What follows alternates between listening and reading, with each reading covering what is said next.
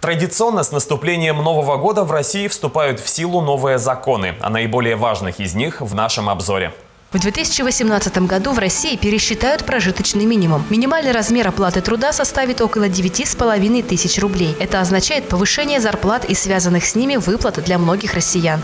С 1 января работникам бюджетной сферы повышаются должностные оклады на 4%. Это первое повышение окладов бюджетников за последние пять лет. С нового года увеличиваются и социальные пенсии. Инвалиды с детства первой группы и дети-инвалиды будут получать 12 тысяч 82 рубля 6 копеек. Ранее сумма составляла 8 тысяч 704 рубля. А инвалиды третьей группы получат 4 тысячи 279 рублей 14 копеек вместо 3 тысяч 82 рублей 71 копейки.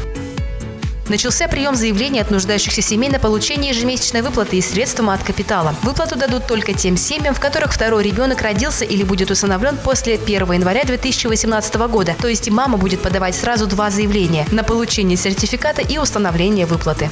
С 1 января ряд госуслуг должны оказывать экстерриториально, то есть в любом многофункциональном центре, независимо от вашего места жительства. Это в частности получение паспорта, водительских прав, регистрация автомобиля и тому подобное. Оформить налоговые льготы с этого года станет проще. Нужные сведения налоговая будет запрашивать сама. Кроме того, пенсионеры освобождаются от уплаты земельного налога на дачные участки площадью не более 6 соток. И еще один подарок от государства – списание долгов по некоторым налогам и страховым взносам для физических лиц и индивидуальных предпринимателей.